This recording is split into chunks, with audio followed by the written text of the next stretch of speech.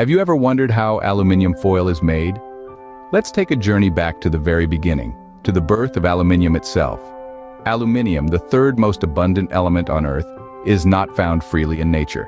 It's locked away, hidden within a rock named bauxite. Mining bauxite is the first step in the journey of making aluminium. Now you might be wondering, why go through all this trouble for aluminium? Well, this silvery white metal has some pretty impressive qualities. It's light, it's strong, it's resistant to corrosion, and it conducts heat and electricity. Need I say more? From the cans of soda you enjoy on a hot summer day, to the foil that keeps your leftovers fresh, aluminium is a part of our everyday lives. And it all starts with a chunk of bauxite rock. So we've got our bauxite, now what? Stay tuned to find out. The journey from raw bauxite to aluminium foil starts with a process called the Bayer's process. This is where the magic begins. The Bayer's process, named after its inventor Carl Bayer, is a method designed to refine bauxite, a clay-like substance that's rich in aluminium. Imagine the bauxite being crushed into a fine powder. It's then mixed with sodium hydroxide. This cocktail is cooked up to a high temperature and pressure in massive vessels. Under these extreme conditions, the bauxite dissolves, leaving us with a solution of sodium aluminate. Now, picture this solution being cooled and seeded with crystals of aluminium hydroxide. These seeds trigger a reaction, causing aluminium hydroxide to precipitate out of the solution. The precipitate is then heated to over a thousand degrees Celsius, driving off the water and leaving us with pure alumina, a white powder. After the Bayer's process, we are left with pure alumina, but we're not quite at aluminium foil yet. With pure alumina in hand, we move on to the next stage, the Hall-Héroult process. This is where the true magic happens, folks. Picture this. The alumina is dissolved in a molten electrolyte, a bath of sorts, made primarily from a compound called cryolite. The heat a searing 950 degrees Celsius, but it's not a spa day for our alumina, no sir. This hot bath serves a purpose. The heat and the electrolyte work together to break down the alumina into its components, oxygen and aluminium. Then, we apply a strong electric current.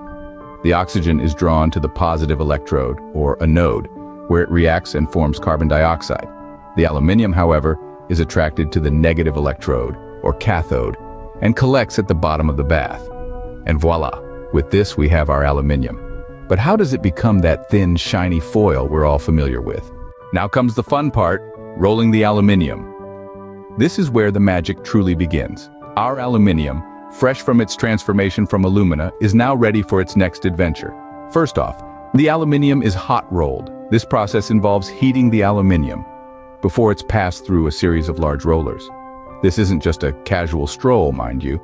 This is an intense heat workout that thins the aluminium out, much like rolling a dough. Once our aluminium is sufficiently thinned, we move on to the next stage, cold rolling. The aluminium, now cooled down, is passed through the rollers again. This time, the process refines the thickness to its final form. The aluminium is rolled several times, each pass bringing it closer to the desired thinness. It's a dance of precision and control, a testament to the marvels of modern manufacturing. And just like that, we have aluminium foil. But wait, there's more to it. After the aluminium has been rolled into thin sheets, it's time to give it the final touches. The foil is then cut into desired lengths, depending on the use it's intended for. From small squares for your chocolate bars to longer strips for your kitchen needs, the versatility of aluminium foil is truly remarkable. But we're not done yet. Each piece of foil then goes through rigorous quality control. It's inspected for any imperfections, ensuring that every roll that leaves the factory is as close to perfect as possible. And what's next? Packaging. The foil is carefully wound onto cardboard tubes and wrapped in protective packaging, ready to make its way to the stores. From shielding your leftover dinners in the fridge to helping you bake those perfect cookies, aluminium foil has become an indispensable part of our everyday lives. And there you have it, the journey of aluminium foil from the ground to your kitchen.